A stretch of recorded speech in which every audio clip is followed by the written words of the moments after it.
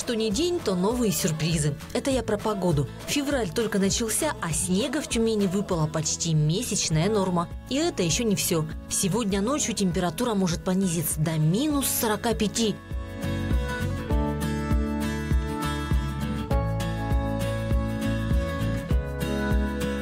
Так холодно в феврале на юге области не было еще ни разу. Вот только таких морозных рекордов почему-то совсем не хочется. Кстати, на улицу сейчас лишний раз лучше не выглядывать.